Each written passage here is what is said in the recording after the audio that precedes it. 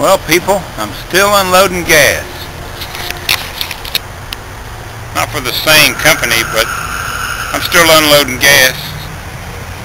I moved to, uh, back down to East Texas for financial reasons and got a, got a job with this little company out of Tyler. And there, I'm, I'm doing pretty good. The rent's a lot cheaper. The uh, pay's a little bit better and I think everything's going to be fine.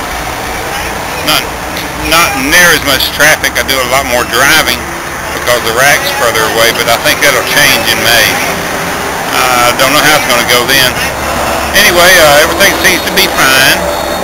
I'm working on a little hot rod, and uh, following this little brief introduction, I'll, I'll show you a couple of things I've been doing to it. You guys have a great day. Enjoy the rest of the video.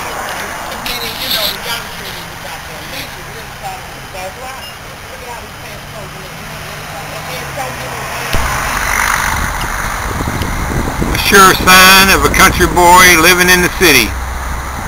Scrub marks, curb marks on his uh,